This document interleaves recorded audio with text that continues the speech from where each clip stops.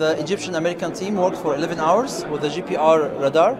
They were supposed to give some preliminary results, uh, but they prefer to study it carefully and they will de- deliver us the results within a few days, one week maximum.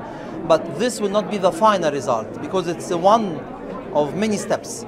The next step will be another vertical radar, which will take place by end of April during the second half.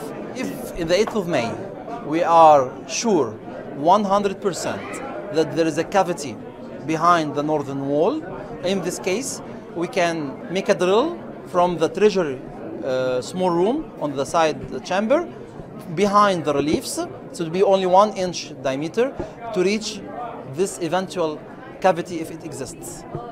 We are going, we will go to the end, but on scientific, uh, careful process. I think there's still the possibility to find something that's really remarkable here.